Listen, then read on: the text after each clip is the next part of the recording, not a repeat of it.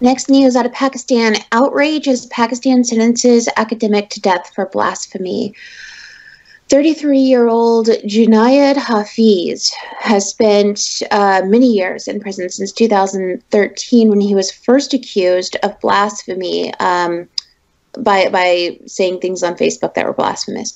So in, in Pakistan, when somebody accuses you of blasphemy, there's typically no proof that needs to be shown, right?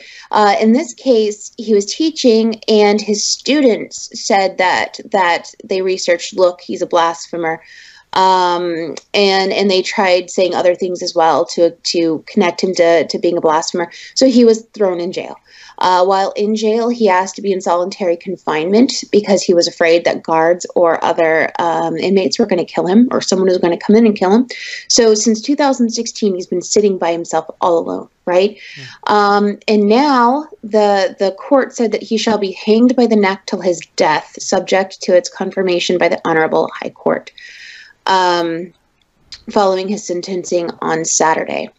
So uh, there here's here's the deal for for y'all y'all who don't know this has been so scary because we've had a few people that that I've known face this issue in Pakistan. If you're accused, that's it. Okay, you go to jail. Not only that, but no one wants to defend you. No one. It doesn't matter. You can sit there and shout that you're innocent. Uh, you know, Mr. Hafeez here said that his students set him up, that he never committed blasphemy ever. Um, that that very well could be true.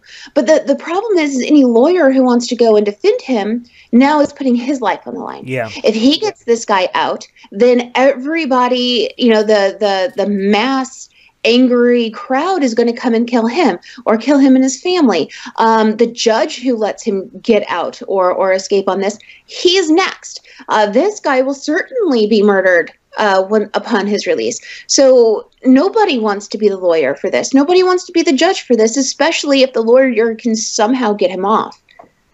The, the entire justice system in Pakistan has been taken hostage by mob. Like even if the even if there was people in the justice system that want to let people go and not punish them for blasphemy or nonsense like that, they they are basic they are putting their lives at risk. Like there was a politician in Pakistan that simp- defended, um, you know, Aisha Bibi, I think. Um, was it her or was someone else? Yeah, and he was killed by his own bodyguard, and his bodyguard uh, turn uh, was sentenced to death for killing a politician.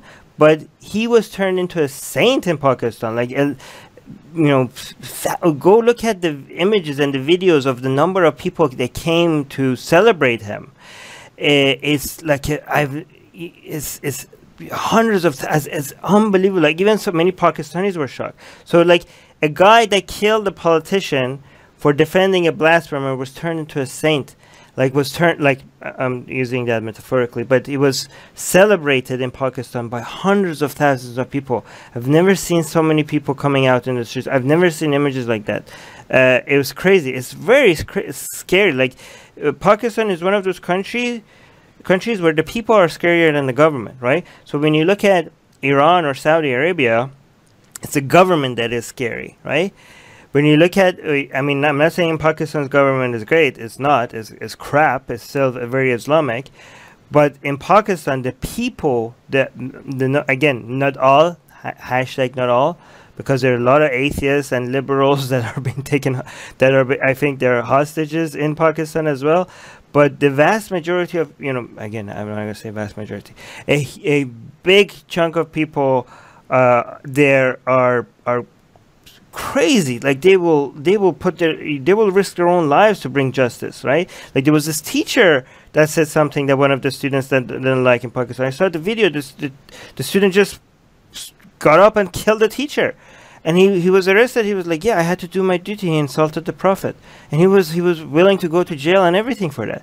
It's so scary. And this guy this guy is that that has just been sentenced to death uh, in Pakistan, he's this guy was a hero. Like this guy would try to bring this Pakistani academic. He tried to bring liberal values, secular values to to Pakistan, to the academic world, and he he was you know he was taking a lot of risk for doing that, and he was opposed all the time, and this is why a lot of people. Um, had it in for him, and it's so sad that the defense is that oh you can't prove that he that he um, you know blasphemed that he insulted Muhammad or whatever. That's that's the defense. It's sort of like who cares, right? That shouldn't even be the law. But I understand that you cannot make that argument right now because obviously that's the law that he should be in Pakistan. I mean that would be a much more difficult thing to tackle right now because to be to be fair, there is no proof actually yet that he actually committed blasphemy. But he he got sentenced to death anyways. Um, and but okay, so here's a here's the thing that you have to be careful.